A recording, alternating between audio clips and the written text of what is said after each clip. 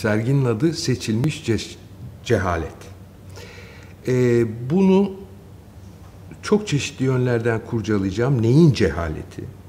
Hep bir şeyin e, cehaleti. Genel olarak mı cehalet? O halde genel ol- olarak mı bilgi? Neyin bilgisi? Seçilmiş olduğuna göre bu bilinçli ya da bilinçsiz, e, iradi ya da gayri iradi, e, kişisel ya da bir topluluğun e, eylemi sonucunda çıkan bir şey hatırlatıyor bana, aklıma getiriyor. E, eski yüksek yazılı kültürlerde Yunan, Hint, Çin vesaire zaten bunu biliriz. Yani e, bu gelenek sürer. Bilgi en üstün e, şeylerden biri. Değil mi? Modern çağda da güç veriyor, şu veriyor, e, anlama, tanıma bir biçimi. Şimdi benim e, gözümün önüne gelen e, şey burada bir zanaatkarı düşünelim ya da bir bilimciyi düşünelim. Yani o zanaatkarla, bilimle ilişkili kurduğumuzda bile isteye, gönüllü olarak ben şurayı yapmayacağım veya bir kedi. Ben işte ağaca tırmanmanın şu kısmını yapmak istemiyorum diyemez. O neyse o etkinliği tam biçimde yapmaya çalışır. Ee, Yunanlılardan başlamak istiyorum. Yani e, Whitehead'in dediğine göre hani bütün Batı felsefesi Platon'a düşülen dipnotlardır der ya. Aristoteles de onun yanında e, 7 yıl kaldı. E, Aristoteles de onun içinde sayılır. Oradan başlamak istiyorum. Sonra eski Yunan'da ve antik yüksek yazılı kültürlerde bulunmayan, artık hayatımızda olan e, ve çok önemli yeri olan bir takım kavramlardan birazcık söz edeceğim. Nedir onlar? İşte enformasyon, veri e, gibi şeyler. Ama kanı, görüş, kanaat eski Yunan'ın ayrım yaptığı felsefece bir düşünme konusu haline getirdiği bir şey. O işimize yarar. E, bunlar arasında gezinip hani bilmeceler vardır. Noktalar arasındaki çizgileri tamamlarsan bir şekil çıkar. Yani bakalım birkaç şekil buradan çıkartabilecek miyiz? Ee, yani bunlar arasında hangisinden vazgeçiyoruz? Nelerden vazgeçiyoruz? Sorum o. Yani ben nelerden vazgeçiyorum? Evet vazgeçtiğim gönüllü olarak ben bunu öğrenmek istemiyorum dediğim şeyler çok. Ne bunlar? Hep ekran başındaki etkinliklerimizde. Büyük, küçük ekranlar. Ama o ekranlar olağanüstü mecralar. Yani duygu veriyor, sanat, müzik dinliyoruz, şu yapıyoruz. O kadar çok şeyi tek bir kanaldan yapıyoruz ki. E, biraz kendime, kendi deneyimime e, bakmaya çalıştım bunları söylemek için. Şimdi tam ortasından başlayalım. Platon, Platon'un eserleri arasında orta böl döneminden yazdığı Politeia, Devlet Cumhuriyet'te çevrilen kitap. Onun da orta bölümü. Size 7-8 sayfalık bir bölüm söyleyeceğim. Her eve lazım bu.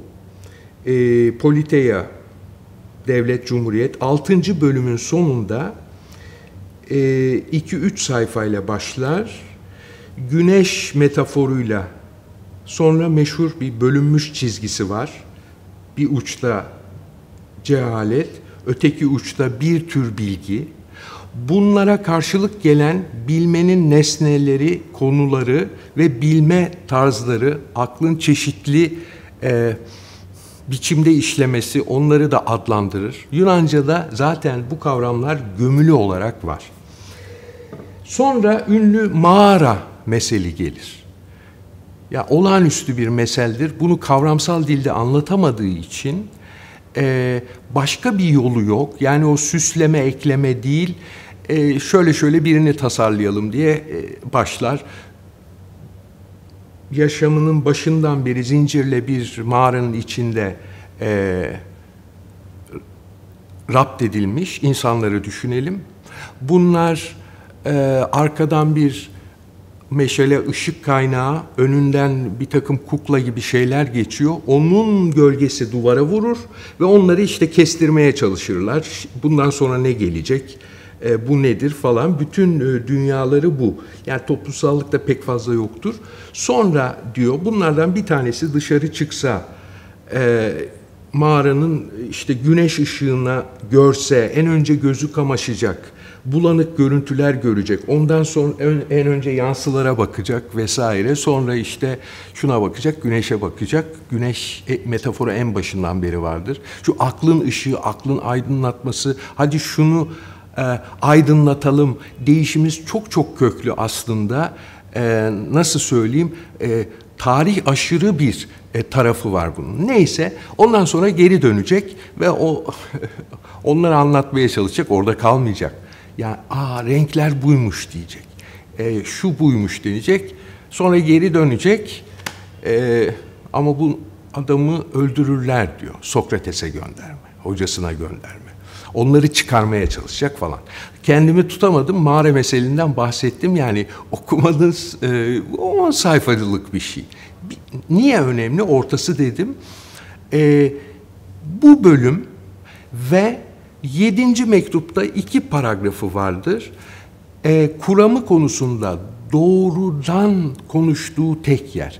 Diğerleri nasıldır? Hep çeşitli seslere dağıtılmış diyalog denen şey bize edebiyat hazzı veren bir şey.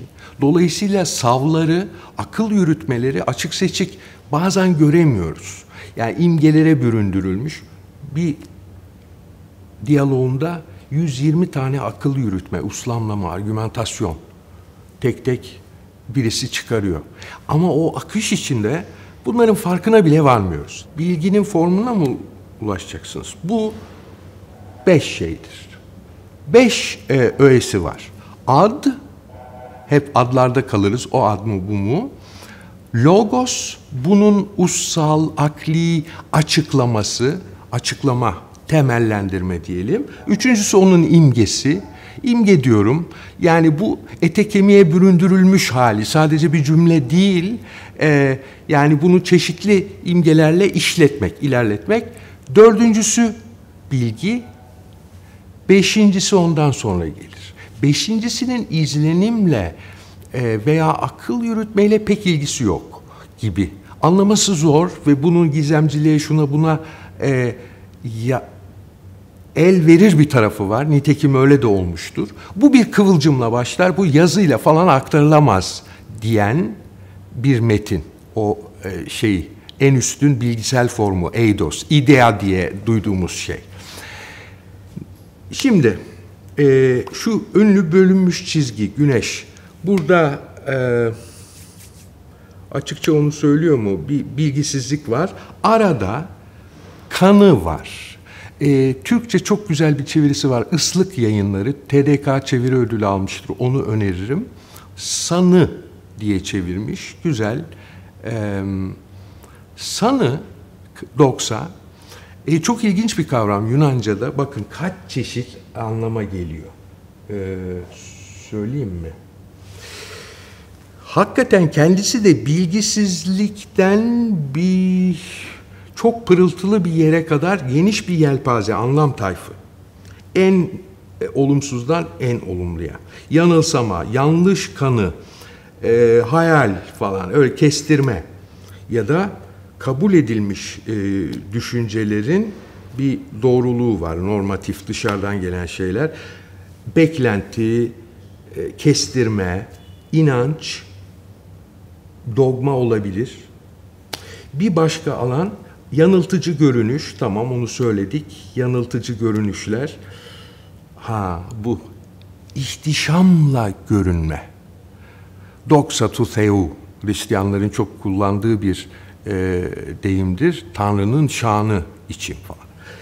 E, şimdi çok ilginç bir nokta. Bütün yazıtlarında e, gene bu doksa kökünden bir şeyle başlar. Bu Halk Meclisi'nin ve işte bilmem Senato'nun kararıdır kararlar. Aynı kelime. Orada da bir kanıya görüşe varıyorsun artık onun bilgisi bilimi olmaz. Siyaset bilimi okuyan siyasetçi şimdi de yok. O zaman da yok. Bir sorun çözülüyor. Bu kanıya vardık. Söyleyemiyorum. Kanı da değil işte. Bütün e, kararlarının altında da bu yazılı. Dile gömülü bir şey. Şimdi biz bunu kanaat, kanı, sanı falan yelpazesiyle düşünüyoruz ama Yunanca'daki anlam yelpazesi ne kadar başka. Neyse. Ee, şimdi bunlarla ilgili e, kanıyla ilgili ara yerde bir yetidir. Bilgiyle bilisizlik, e, cehalet arasında ara bir yer. Dolayısıyla konusu bakımından ne gerçek varlık olduğu gibi bir varlığı konu ediniyor ne de var olmayan bir şey. Yani bir bulanık bir tarafı var. Benzerliklere dayalı bir akıl yürütme var ve bir inanç konusu. Yani gündelik dilde ben şuna inanıyorum diyoruz ya. Onun gibi bir etkinlik var. Ve işte bir şeylerin türemesi olmasıyla ilgili e, bir şey. Öteki türeme değil de varlık kendisini, bir şeyin kendisini. Hani özümözü, tabiatı derler, e, o tür bir şey. Bir de doğru kanı var. Şimdi yedinci mektupta e, doğru kanı aslında bu bilgiye ulaşmada bir koşul olarak geliyor. Doğru kanı ama şunlar şunlar ondan sonra bilgi ve beşincisi. Ee, yani yanlış kanıdan e, doğru bilgiye e, ulaşmaya imkan yok falan gibi bir şey. Şimdi Aristoteles üzerinde durmayalım ama onun olağanüstü ince ince yaptığı ayrımlarla bu yüklemlerin ve akıl yürütme türlerinin konusu haline geliyor e, mantıkçıların akıl yürütmesi, gündelik hayattaki akıl yürütmeler, tasım diyor. Hani öncüller var, bilmem ne var, ondan bir şey çıkarıyoruz. Gerçi gündelik hayatımızda böyle de davranmayız ya. Bunları ayırt ediyor. Hatipler nasıl akıl yürütüyor, işte şunlar nasıl yürütüyor falan diye. Yani e, çok daha ayrıntılı her zaman olduğu gibi üzerinde durmuyoruz. E, yani burada bilgi dedikleri gerekli ve zorunlu e, ve her koşulda geçerli türden bir şey. Halbuki burada söz konusu ettikleri o tür bir bilme konusu olmayan şeyler doksa ile ilgili. Neyse. Bunları ayrı ayrı e, ele alıyor diyelim. Şimdi doksadan sonra ne var? Kanı görüşten sonra ortadan ikiye ayırmıyor. Eşit olmayan iki bölüme ayırıyor e, bir tarafta e, bilisizlik sonra kanı, sanı diyelim, sonra matematiğin akıl yürütmesi, tümden gelimli, e, varsayımlara dayalı. Bakın bu laflar çok kolay şimdi ediyoruz. O çağda bunlar çok yeni şeyler. Sonradan bilim ve felsefe olacak şeylerin e, tam kavşağında. Felsefe lafını, filozofiyeyi ilk defa Platon'un kullandığı neredeyse e, kesin gibi. Ve çok yakın asal sayılarla ilişkili önemli bir çalışma yapmış. İşte Datçalı bilmem ne den şunu öğrenmiş. Yani bu lafları hani çok parlak bir kafanın e, söylediği bir ilk defa söylemeye çalıştığı şeyler olarak düşünelim. Yani biz bugün bir sürü orta öğretimden falan bize yakın geliyor bunlar. Ama yani şu çıkış anına e, bakalım. Evet, e, matematiğin akıl yürütmesi varsayımlara dayalı. Ondan da ileri bir şey işte bu formların bilgisine ulaşma. Artık tümden gelimli değil ilkeye varmaya çalışan bir e, etkinlik bu ve orada bir takım formlara ulaşıyor ve formdan forma geçerek e, çalışmasını yürüyor. Anlaması kolay değil.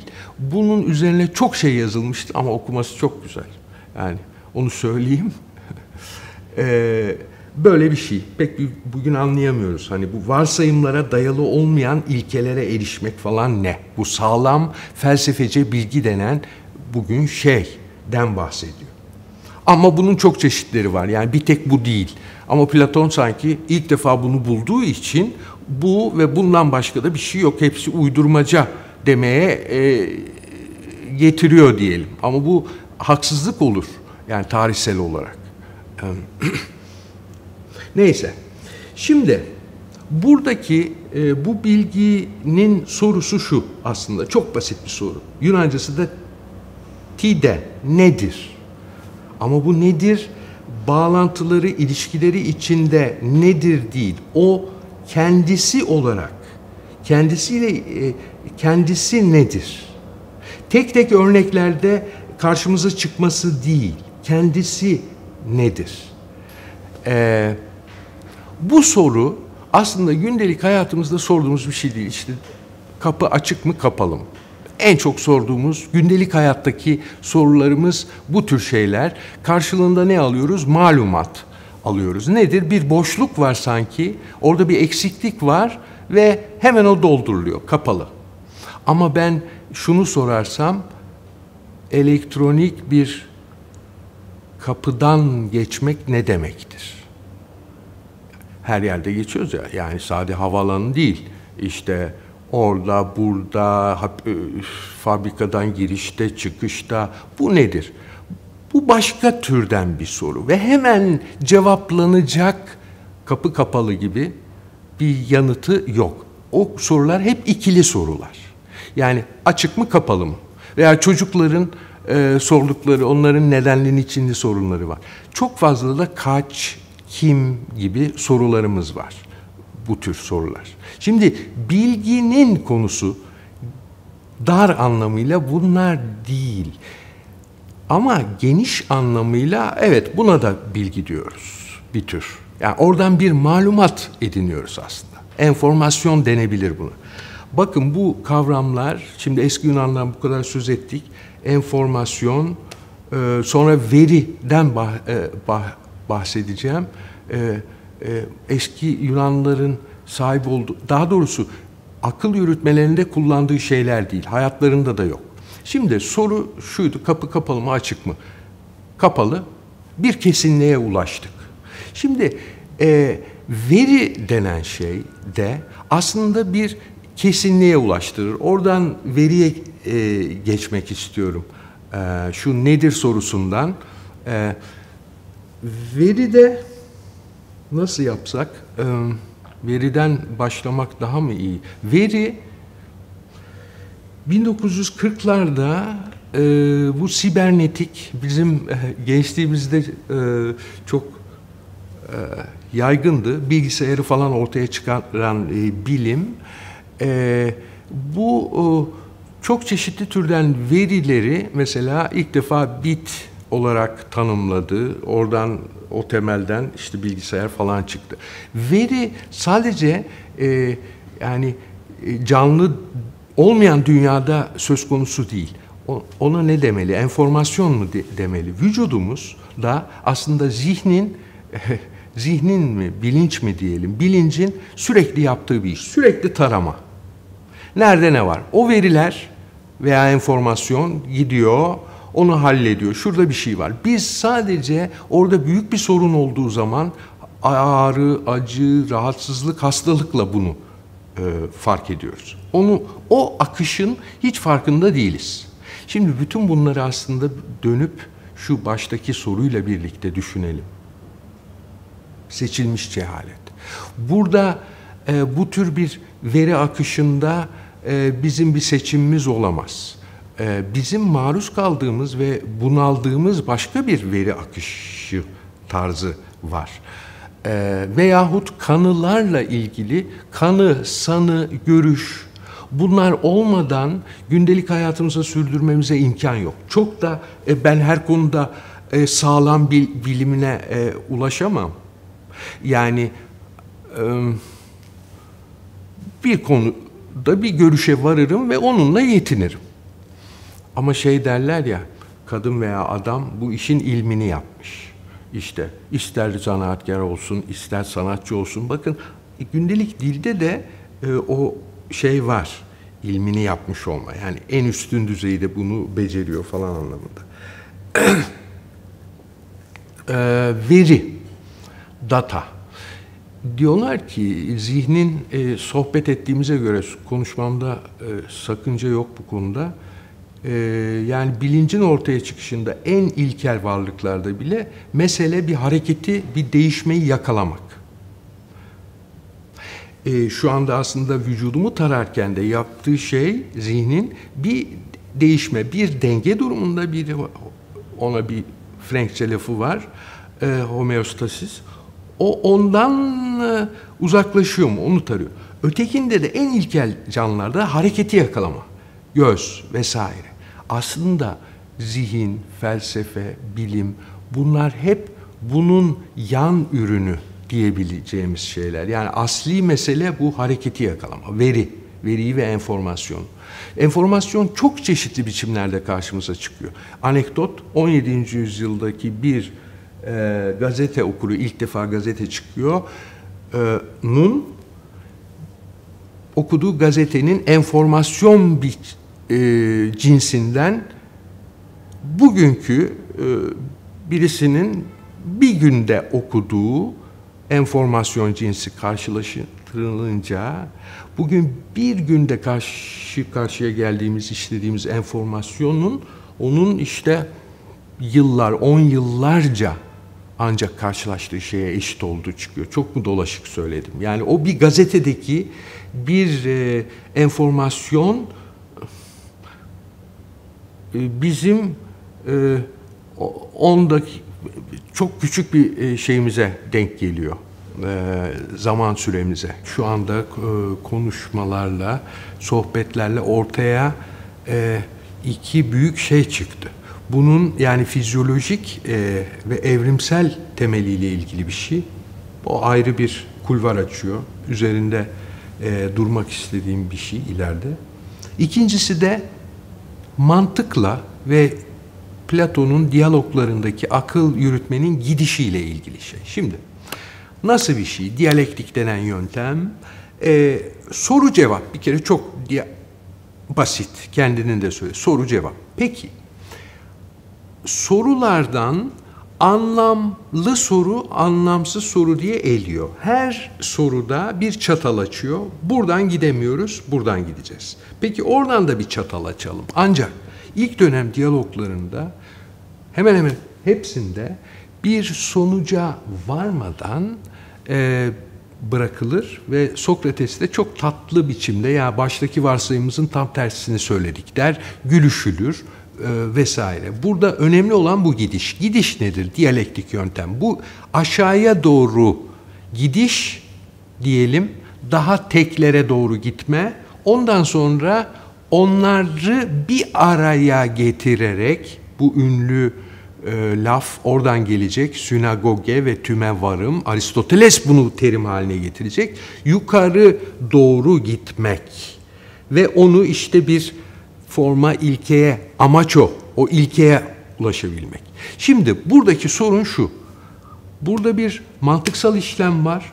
Burada bir e, seçim söz konusu değil ama burada seçim olan bir şey var. Bu çatallarda sadece mantıksal işlem yok. Yani soru da belirliyor falan. Bunun üzerinde durmak lazım. Ee, burada bir seçim e, Sokrates'e sorsan burada zorunlu olarak onu seçmemiz lazım diyecektir herhalde. Neyse e, şu en başta söylediğim hani noktaların arasını e, birleştirirsek e, kaç tane şey çıkar. Yani ben bir kedi resmi çıkmasını isterdim veya bir tane ağaç bir şey. Neler çıktı bilmiyorum. Yoksa böyle karalama mı çıktı e, bilemiyorum.